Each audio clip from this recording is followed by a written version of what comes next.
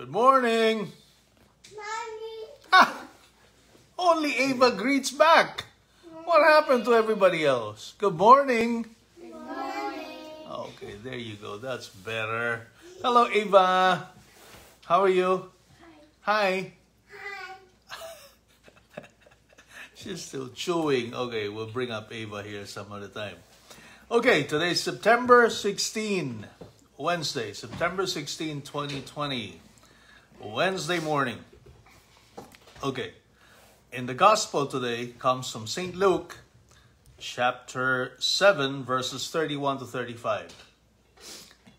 Now, this is this is a very interesting kind of gospel because uh, it's not it's not an easy uh, gospel account to understand. Okay, so I need you to pay close attention to the way we're going to uh, try to understand this gospel today. So let me read it out to you. Jesus said to the crowds, To what shall I compare the people of this generation? What are they like? They're like children who sit in the marketplace and call to one another, We played the flute for you, but you did not dance. We sang a dirge, but you did not weep. And then Jesus follows it up by saying, For John the Baptist came neither eating food nor drinking wine, and you said he is possessed by a demon. The Son of Man came eating and drinking, and you said, Look, he's a glutton and a drunkard, a friend of tax collectors and sinners. But wisdom is vindicated by all her children. What does that exactly mean?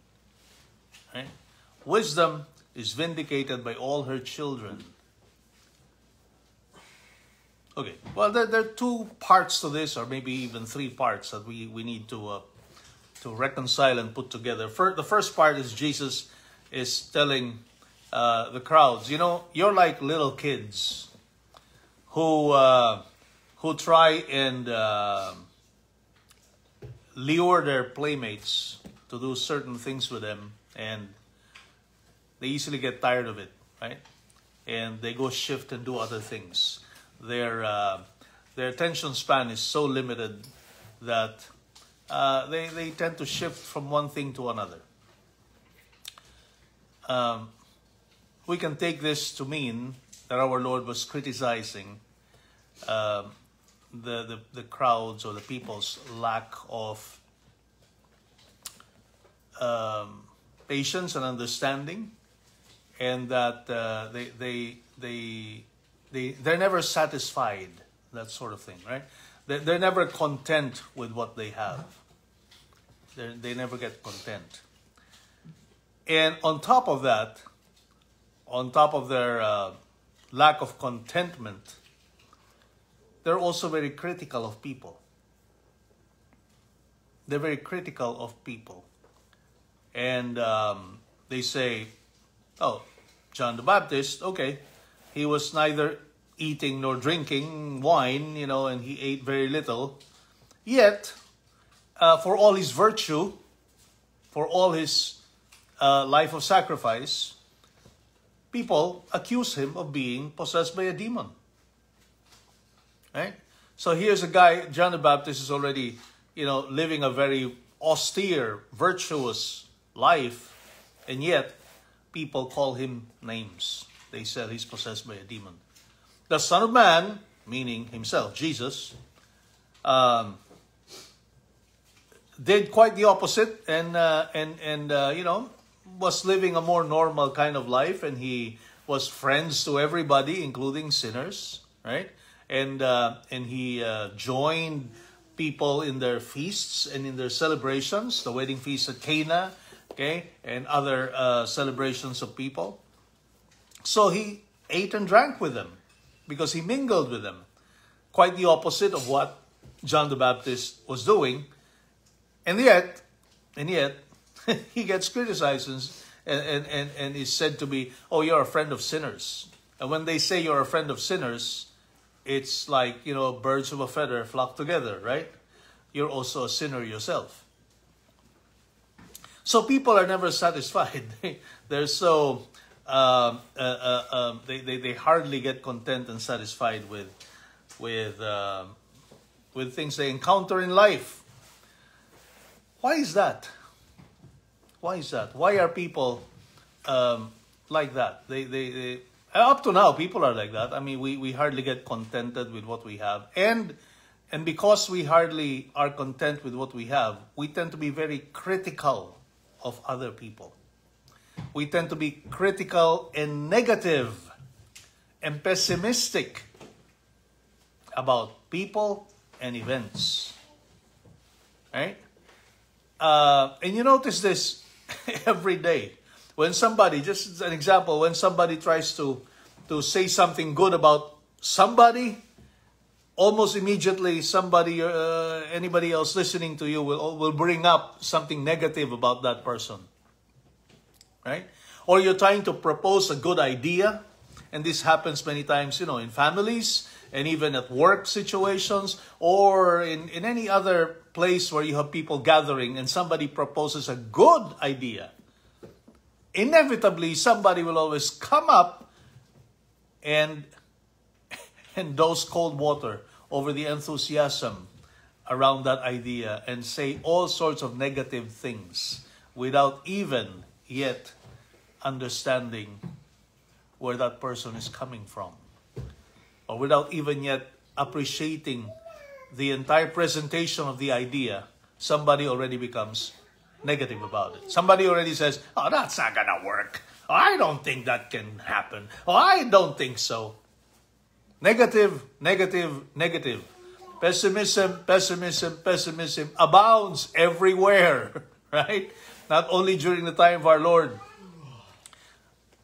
Perhaps up to now, you get plenty, plenty of these kinds of people who cannot seem to find anything good with other people or with events or with the things going on around them. Why?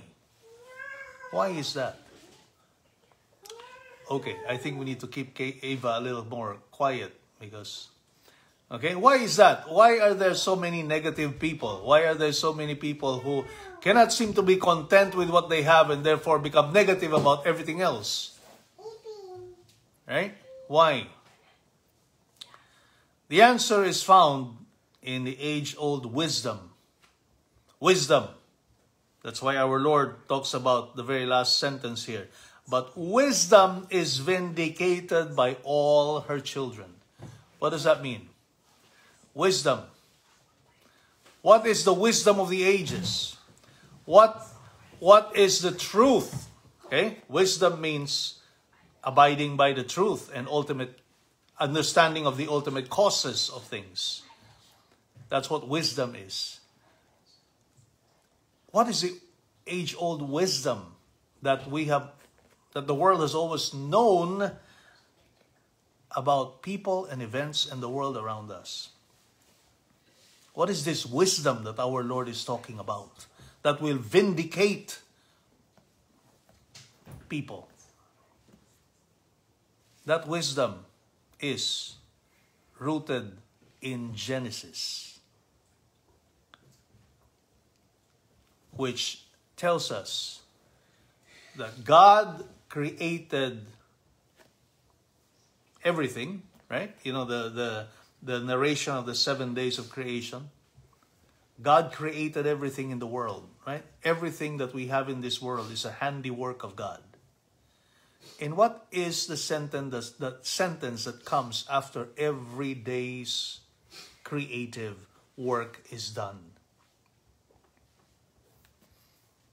Genesis says, and God saw that it was good.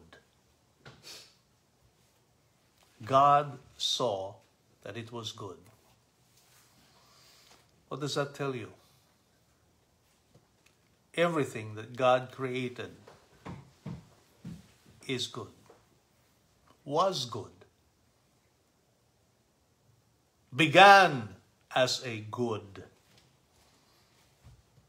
and He gifted us, the world, and especially mankind with all of this good. That is the wisdom of the ages. Everything God made was good, including mankind. Including mankind, including man, people, you and I. God created us good. Of course, we were destroyed by original sin. And of course, uh, if we continue to be in the state of sin, even after our baptism, uh, then we commit actual sins, and well, then uh, uh, we are the only ones destroying the goodness that God has given us, right? So the truth behind everything God made is the fact that every, God made everything to be good. So, this should be the starting point of the way that we read people and events and situations in our lives.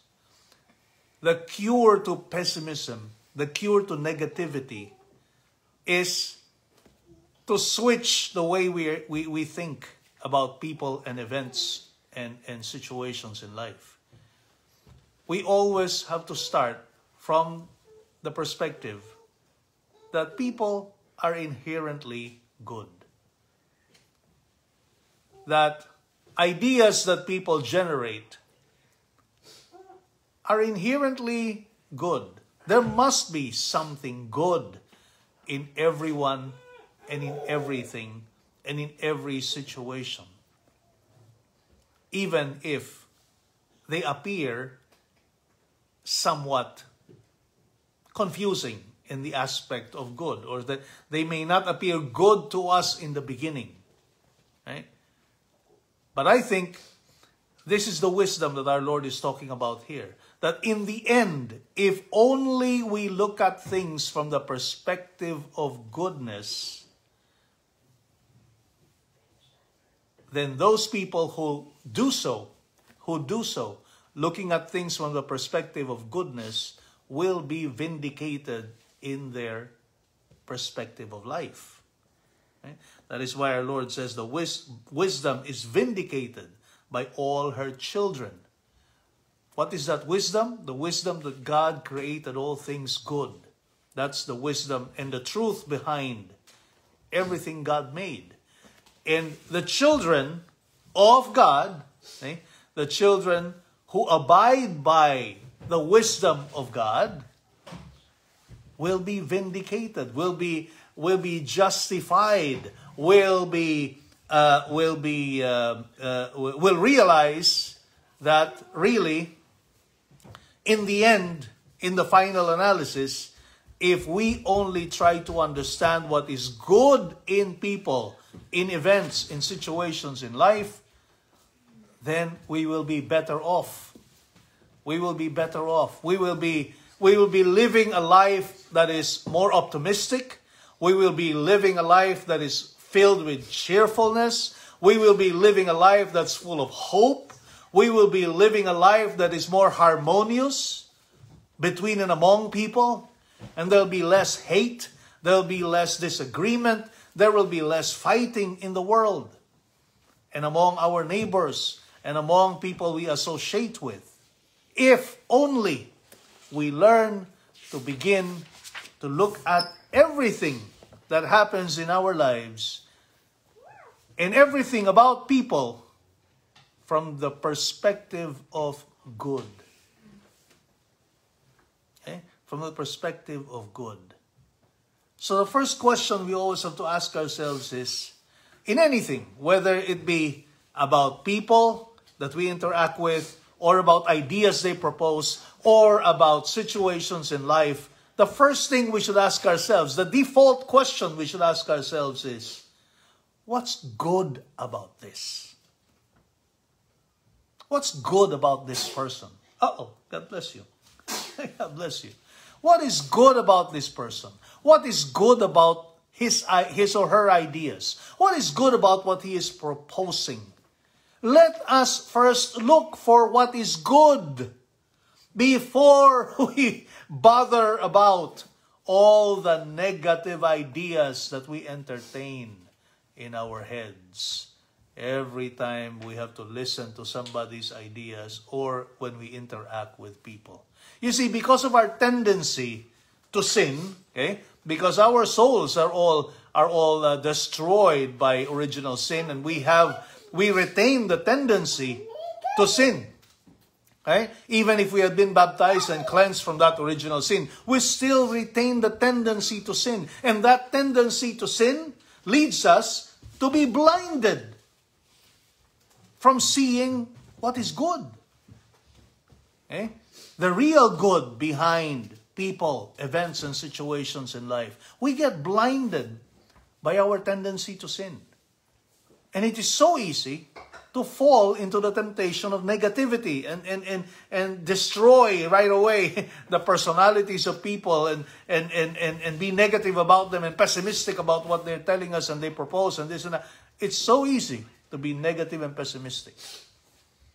It needs effort to always see the good in people and see the good in their ideas and see the good in events that happen to us in our everyday lives.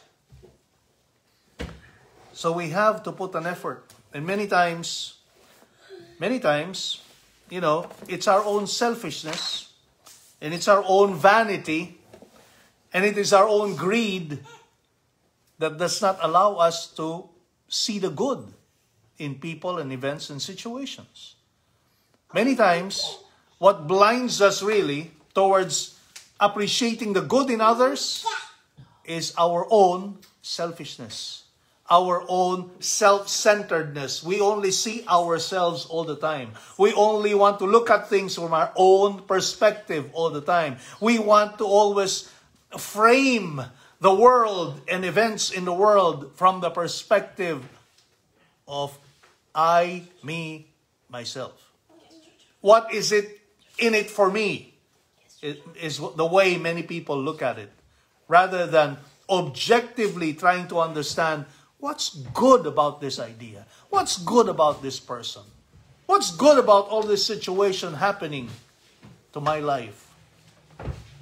Instead of us trying to look for the good, we always tend to ask, What is it in it for me?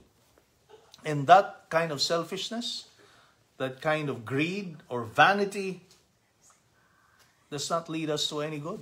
It leads us to be pessimistic. It leads us to be negative about everybody and everything. Okay? So I would encourage you, I would encourage you to change that mindset, change that frame of mind and and and, and learn to now be a little bit more uh, uh, uh, um, curious, really, putting the effort to try and understand what is good in this person, what is good in this situation, what is good in what is being suggested uh, before me. And if you have that kind of an orientation in life, there's no room for pessimism. There is no room for sadness or, or even uh, discouragement right? Rather, life is going to be full of optimism. Life is going to be full of cheerfulness and joy and hope. Plenty of hope. And there'll be plenty of charity to go around too. Okay? If only we begin from the age old wisdom of looking at everything in life, from people to situations and events, from the perspective of the good because that's how God intended it to be from the very beginning. That's the wisdom of the ages. And that is what's going to vindicate all of God's children if we learn to look at things from the perspective of good. Okay, we're all good now. okay, let's say goodbye, Ava. You want to come up here and say goodbye to everybody? Bye. There is Ava. Did you understand anything today, Ava? Did you? You did? Very good. okay. Bye-bye, everybody. Have a good day. Bye. Bye. You wave bye bye. You wave bye bye. There you show them bye bye. Okay. Bye. Okay.